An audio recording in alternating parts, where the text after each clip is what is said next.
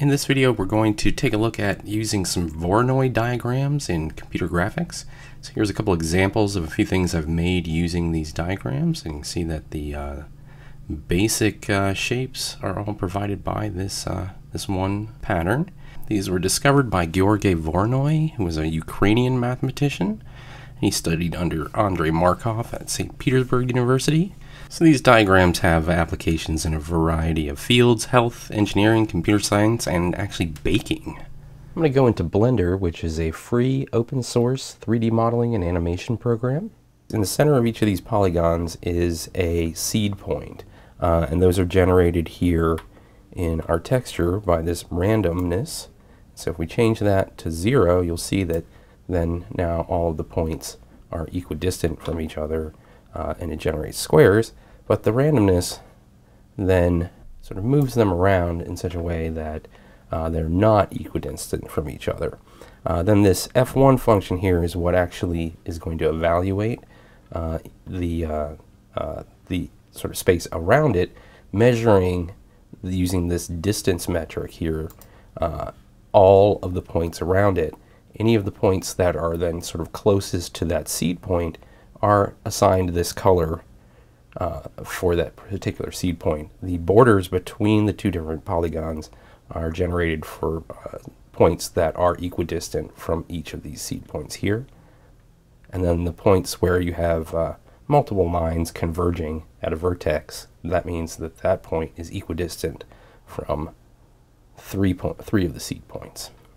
Um, you have different functions that will generate uh, slightly different patterns. So the f2 function, as you can see, has a different evaluation, gives you different polygons. And then the smooth f1 is the same uh, f1 function here, but then it sort of blurs out uh, the, the distances. So instead of having hard edges, you have that sort of blurry pattern. Okay, so now we've got all that, we need to talk about distance metrics. So there's different ways to measure distance. The Euclidean method is sort of the way you're used to. It uh, uses the Pythagorean theorem, and so you're just uh, calculating the hypotenuse there of that right triangle. Okay, then we have the Manhattan distance, and this you can think about driving around a city. You can't drive diagonally through a city block. So this is taking both the uh, x and y uh, distances and putting them together. So then we have the Chebyshev distance, and this is the maximum on either the x or y direction. And so this is actually, when you use the discrete model, uh, makes diagonal movement the same cost as horizontal or vertical movement on the grid. This is the way that you move miniatures in Dungeons and Dragons. And the last one that we have access to in Blender is the Minkowski metric. So it is actually a generalization of the other three. So you can see in the formula there that we've got these exponents where you've got a p and then a 1 over p. So we can manipulate that down here in the, uh, uh, the shader nodes. And so if we set that to 0, then nothing's happening, so we just get the default grid. If we set this to 1, we're going to get the uh, Manhattan distance. We set it to 2, we're going to get the Euclidean distance. And then if we go above 2, we start to approach the Chebyshev distance. So technically, we have to take the limit as uh, p goes to infinity, but uh, the computer doesn't understand infinity, so 32 is going to suffice here in the computer. Now, I'll usually use uh, a fractional exponent on the Minkowski because it makes that sort of shattered look there. So those are our distance metrics that we can use. Those are just going to give us different shapes to our Voronoi diagram. Okay, let's look at some applications. So these are a few things I've made uh, over the years using Voronoi diagrams as sort of the basis of the pattern. Here we have a sort of flagstone street, cobblestone street, or uh, might be able to use that as like a natural stone wall. So this is just two Voronoi textures, uh, one using the F1 and the other using the F1 smooth. And so I've got those going into a pair of color ramps right there. And that's pulling out the, uh, the actual color and making it that grayscale and then mixing it back together so you get the variation of the different rocks having different different shades of, of uh, different shades of gray. Uh, we're also using the distance information and so I'm dividing the uh, F1 by the F1 smooth and that's giving us that sort of sharp edge or that sort of sharp flat top. And so you can see as I manipulate the power here, I can manipulate the strength of sort of the creases in between the rocks.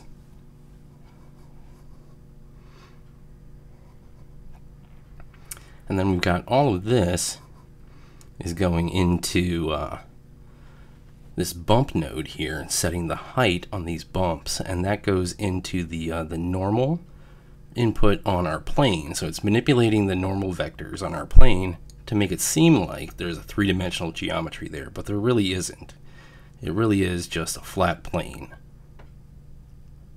boom okay now let's put a light over top of this and uh, you can see pretty dramatically what happens as we move the light around. It behaves as if there is a three-dimensional surface there, but there really isn't. It's really just that flat plane. And so that's just manipulating those normal vectors. And I'm going to do a whole video all about that technique and stuff you can do with that. But for now, let's just take a look. And you can just see that this, at its most basic, is just a Voronoi. Alright, on to the next one. This is a star uh, material that I made very simply using a Musgrave texture and a Voronoi texture. Musgrave is uh, providing the yellow swirliness. The uh, Voronoi is providing the variation in the sunspots. So you can see that's uh, what's driving that.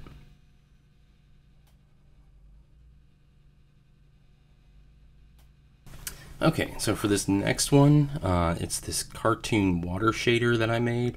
It uses uh, two Voronois. It's again using the F1 and F1 Smooth, and we're subtracting them this time and then sending them into a color ramp so that we can get this sort of nice foamy effect on the top of the water there. Uh, we're using a four-dimensional version this time, and that's so that I can animate the W input. So if you think about a normal three-dimensional space, you got X, Y, and Z. With our four-dimensional version, we have a W uh, as well, and by changing that value over time, we can actually make the, uh, the shapes change. So if you watch the uh, little green box on the left, and then the pattern in the water, those are both changing, and that's how that's working. So once again, this is just, at its heart, just a Voronoi. So let's look at the color. We'll unplug this. And we'll just throw that in there. And yep, there's our pattern once again.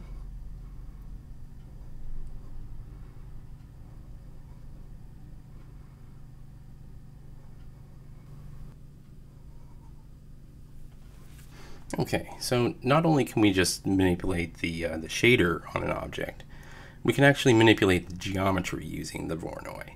So this is a geometry node setup, and I've got a few nodes here that I am driving with the Voronoi texture. And so ultimately this is actually just a plane that I'm then doing some stuff to the points that uh, exist on that plane. And so the first node here actually uh, is an extrude node. So it is taking the points on the plane and extruding them up to a height that is set by the distance uh, data coming out of that Voronoi. So that's all just done with that. And it gives sort of a nice pseudo-random pattern uh, that's going to be useful for us in a minute.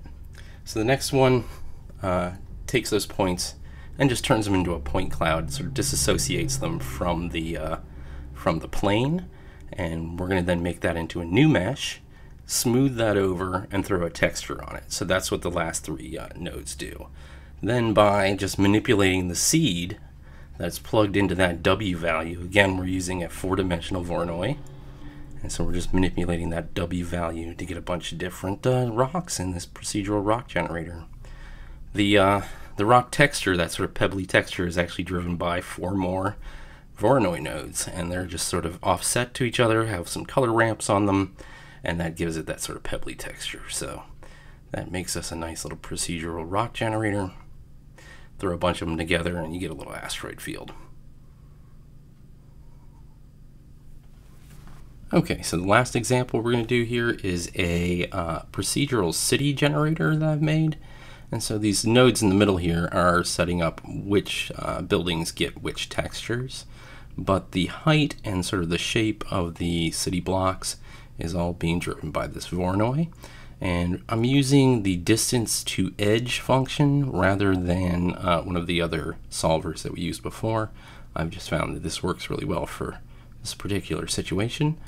But uh, we can take a look and see what it's going to look like if uh, we switch this over to the F1. It will work, uh, it just isn't quite as clean. So if we go F1, and then we can check some of these different uh, distance metrics. So here we are on Chebyshev, Euclidean, very tall buildings there. Manhattan, they get even taller, thicker. And then the Chebyshev again gives us sort of rectangular L-shaped buildings, a lot of those. But that distance to edge gives us a nice, uh, what I think is a nice scale for, for what I'm doing here. So if we just scroll through, get this going, throw a little smog on there, and that looks like a pretty good little procedural city. If you're interested in learning more about Blender, I have a YouTube channel where I do tutorials for beginners, uh, so head on over there, there's a link in the description. Okay, and that'll do it for this video. Hope you enjoyed it. Thanks for watching.